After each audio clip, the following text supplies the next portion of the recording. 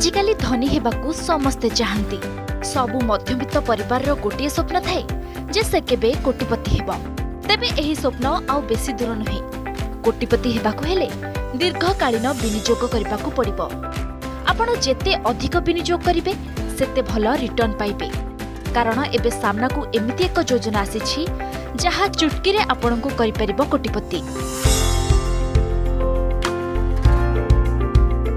PPF ବା public provident fund PPF ଏକ ଲୋକପ୍ରିୟ ଯୋଜନା। କାରଣ ଏଥିରେ ଜମା ହୋଇଥିବା ଟଙ୍କା ଉଚିତ ସମୟରେ ସୁଧ ସହ ମିଳିଥାଏ ଏବଂ ଟଙ୍କା ପୁରା ସୁରକ୍ଷିତ ଭାବରେ ରହିଥାଏ। ଏହା ସରକାରଙ୍କର ଇଇଇ ଯୋଜନାରେ ଅନ୍ତର୍ଭୁକ୍ତ। ପ୍ରତିବର୍ଷ ଜମା ଉପରେ ଟିକସ ଛାଡ଼ ଦାବି କରିବାର ଏକ ବିକଳ୍ପ ଅଛି। ପ୍ରତିବର୍ଷ ପ୍ରାପ୍ତ ସୁଧ ଉପରେ କୌଣସି ଟିକସ ଦେବାକୁ ପଡ଼ିବ ନାହିଁ। ତେବେ ପିପିଏଫ୍ରେ କେତେ ପରିମାଣର ଟଙ୍କା ବିନିଯୋଗ କରିପାରିବେ ଆପଣ? ଏହି ଯୋଜନା ମାଧ୍ୟମରେ ବାର୍ଷିକ ସର୍ବନିମ୍ନ ପାଞ୍ଚଶହ ଟଙ୍କା ଏବଂ ସର୍ବାଧିକ ଦେଢ଼ ଲକ୍ଷ ଟଙ୍କା ବିନିଯୋଗ କରିହେବ।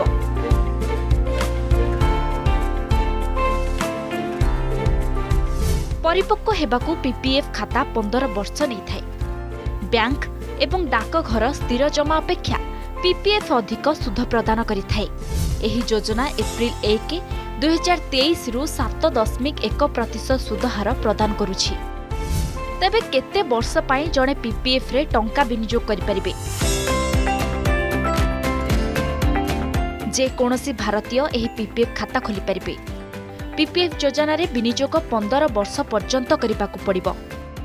ଯଦି ଆପଣ ପରିପକ୍ୱ ସମୟ ପରେ ମଧ୍ୟ ଏହାକୁ ଜାରି ରଖିବାକୁ ଚାହାନ୍ତି ତେବେ ଏପରି ପରିସ୍ଥିତିରେ ପିପିଏଫ୍ ଆକାଉଣ୍ଟକୁ ପାଞ୍ଚ ବର୍ଷ ପର୍ଯ୍ୟନ୍ତ ବଢ଼ାଇ ପାରିବେ।